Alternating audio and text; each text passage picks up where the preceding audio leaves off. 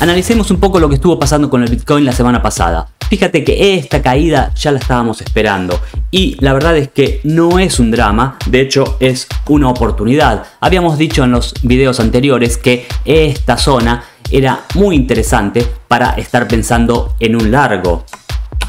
Era un error comprar aquí arriba, aquí el institucional estaba tomando beneficios y debíamos ser pacientes lo suficientemente como para esperar el precio aquí.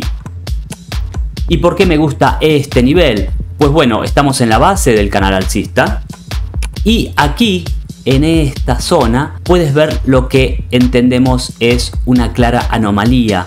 Fíjate en el volumen que tenemos aquí. La verdad es que tenemos una pequeña vela roja y al lado una vela verde muy grande. Ambas tienen la misma cantidad de volumen. Esto significa que aquí hubo intención de detener la caída.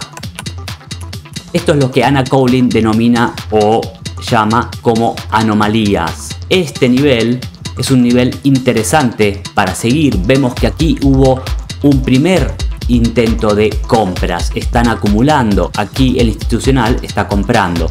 ¿Tú vas a comprar aquí en este mismo nivel? Claro que no. Lo que debes esperar es a que entren compras. El precio de momento puede seguir lateralizando e incluso hacer una trampa bajista para recién entonces irse al alza. Entonces, aquí tienes dos oportunidades. Una es esperar a que el precio haga una trampa bajista y se vaya y cuando se vaya que lo haga con intencionalidad, con volumen. Tienes que ver un volumen semejante a este que vemos aquí. No queremos ver el volumen cayendo cuando el precio se vaya al alza. Otra opción, y que es la que más me gusta, de hecho, es que esperes por una rotura de la estructura. ¿A qué me refiero? El precio tendría que hacer un máximo, ser superado por otro máximo y recién entonces con volumen nos iríamos al alza. Esta rotura de la estructura sería tu señal de entrada. No entrarías directamente cuando haga un nuevo máximo rompiendo el anterior, sino que esperarías un poco.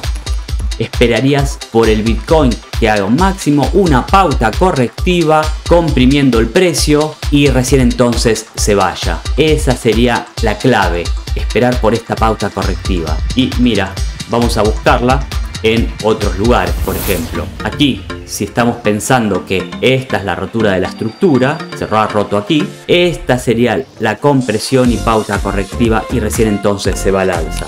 Aquí vemos lo mismo, fíjate cómo el Bitcoin rompe aquí, lo hace con fuerza, con intencionalidad, con volumen. Esta es una rotura de la estructura. Aquí hay compresión, lo que es una pauta correctiva cuando se rompa esto recién nos vamos al alza.